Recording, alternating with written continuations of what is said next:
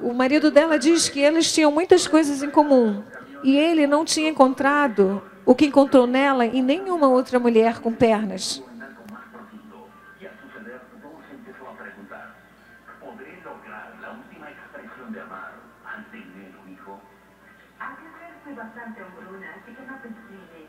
Uma moça muito bonita.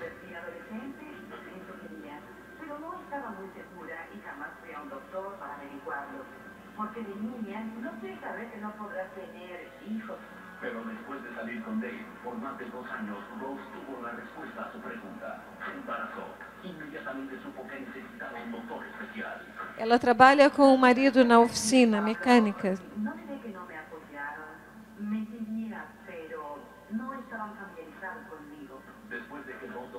me dijeron que era demasiado peligroso que continuara su embarazo, Rose finalmente encontró uno que aceptó seguir su caso.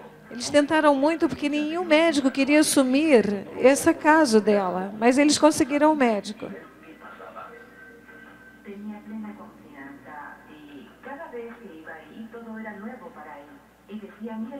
Nenhum médico sabia o que fazer, tudo era novo para ele.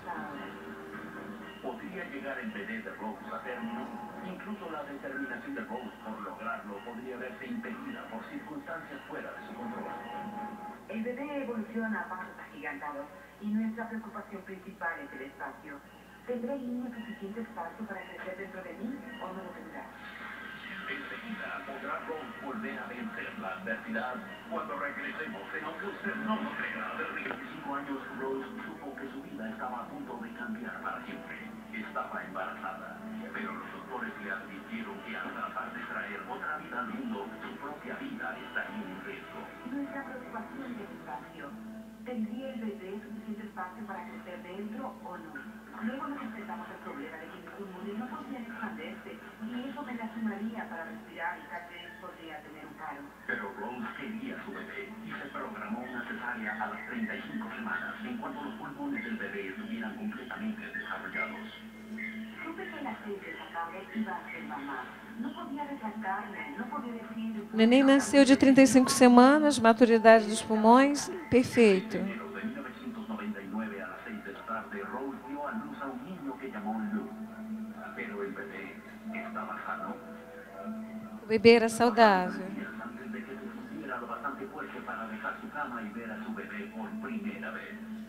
Bajamos y él estaba en su cunita y tenía tubos y alambres por todo su cuerpo. Lo miré y lo pusieron en mis brazos. Ella estaba bajollada por tanta felicidad y emoción. Y verlo, verlo llorar y mover sus brazos y verlo entero. Y lágrimas, había lágrimas de gozo por haber podido traer algo tan bello al mundo. Y es perfecto, y era normal, y tendrá una vida normal. Vida normal. normal y su bebé estaba bien, Não havia obstáculos no caminho dela.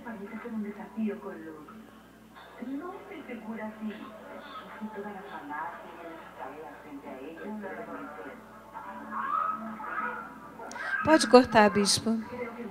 Pode cortar, por favor, e ligar as luzes do altar. Amados, Deus providencia a provisão para todos nas nossas vidas. Bote as mãos nas suas pernas e agradeça a Jesus pelas pernas que você tem. Obrigada, Senhor, pelas nossas pernas. Obrigada por estas pernas que tu me deste. Obrigada, Senhor.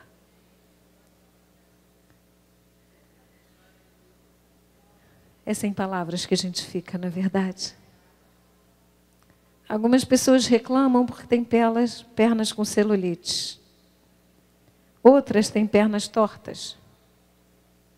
Outras têm varizes, microvarizes. Têm pé chato. E acham que não conseguem casar, que não conseguem por causa disso.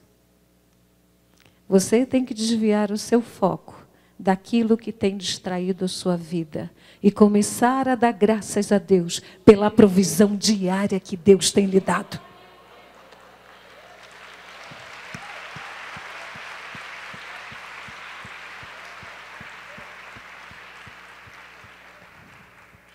Quantas são as áreas nas nossas vidas e nas vidas das pessoas à volta do mundo? Umas maiores, outras menores, outras muito maiores do que as nossas. Quantas vezes valorizamos coisas tão pequenas, enquanto temos o mundo inteiro à frente para angariar? Quantas pessoas, por estarem um pouco fora dos padrões estéticos, ou profissionais, ou sociais, deixam de observar a bondade e a provisão de Deus, o cuidado do Senhor, o amor do Senhor por suas vidas. Vamos à síntese da palavra de hoje. Vamos fazer assim, ó. Ai, o culto hoje está longo, mas está uma benção. Aproveita Vaniceia para cutuca sua filha para botar a costela no lugar. Isso é para quem está dormindo acordar, claro, né? A síntese da nossa mensagem desta tarde é: Deus providencia a provisão. Deus providenciou em minha vida, vocês viram? Deus providenciou na vida de Rose um marido um filho e uma filha, porque depois continua. Se vocês tiverem é, curiosidade, terão, penso eu, vão ao YouTube e botem mulher sem pernas, mulher sem pernas, e vocês vão ver toda a trajetória da primeira gravidez, da segunda gravidez.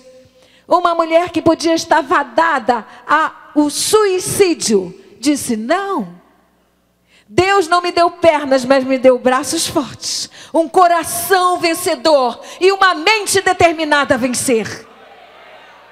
Foi mãe, foi mulher, é trabalhadora.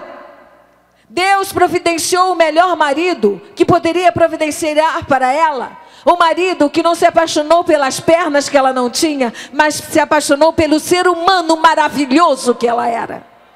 Que você é você, mulher que foi abandonada por um homem que não te merece, está morrendo. Vive! Marcha! Nós tivemos a história nessa semana de uma senhora que morreu de amor. Não, morreu de abandono. Por quê?